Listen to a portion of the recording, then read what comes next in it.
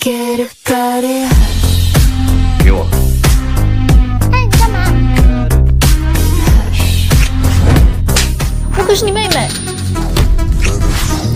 妹妹，老爷子刚去世，就多生了私生女。我看你是想觊觎我家的财产我只是拿回原本属于我的东西。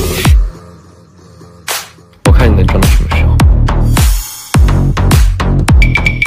这瓶子，未婚夫家的东西。来人，我是他妹。我还是他未婚妻呢。你一个从犄角旮旯冒出来的野丫头，休想混得这个家的一分财产。怎么了？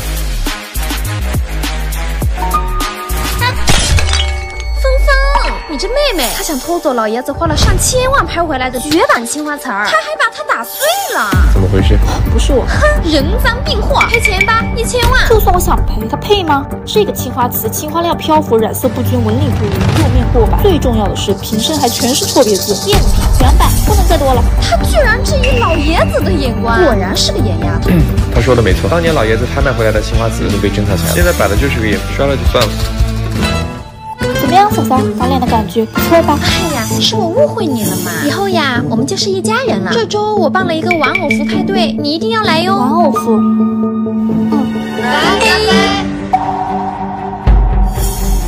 哎，大家快看啊！今天这么隆重的酒会，新九儿穿的叫什么呀？沙币！啊，傻逼！新九儿，你可真是丢人现眼。不是你跟我说的玩偶服派对吗？就你这档次，也配参加上流宴会？让我来帮你清醒清醒。大家快看啊，有人要哭着回家找妈妈了。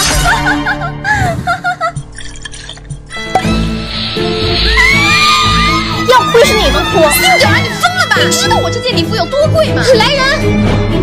我看谁敢欺负叶家的人。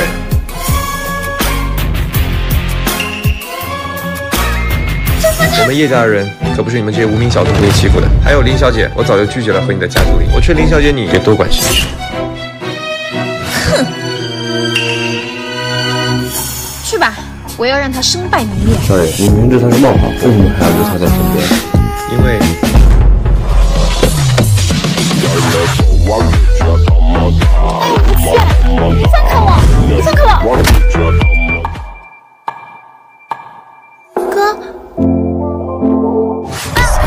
大庭广众下和别人搂搂抱抱，新九儿，你有没有把我放眼里？可是，你疯了！你只是我哥。我是疯了，才会在意一个想和我争夺财产的梦。